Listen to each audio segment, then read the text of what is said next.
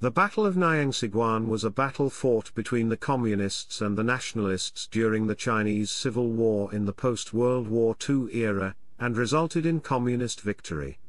The battle was a critical one in Zhengtai campaign, that helped to determine the outcome of the campaign.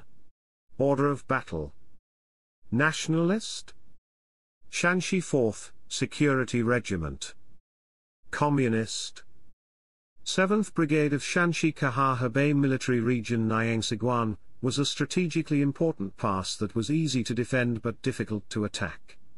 The Nationalist 4th Security Regiment of Shanxi totaling around 1,000, defended the pass.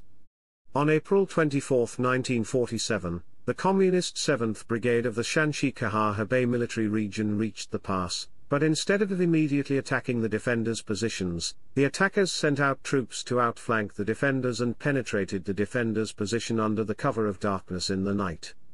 At 3 am on April 25, 1947, the enemy finally attacked under the cover of artillery shelling. The defenders immediately came out of their fortifications to counterattack, but this proved to be a great mistake, venturing out of their fortifications allowed the defenders to be sealed off by the attacking enemy into several isolated groups that could not support each other, and without the fortifications, the stranded defenders were annihilated within three hours. The Communist victory ensured the control of the strategic pass and secured the safe passage of future troop movements for themselves while blocking the passage of nationalists, thus helped the Communist, to achieve final victory in Zhengtai campaign.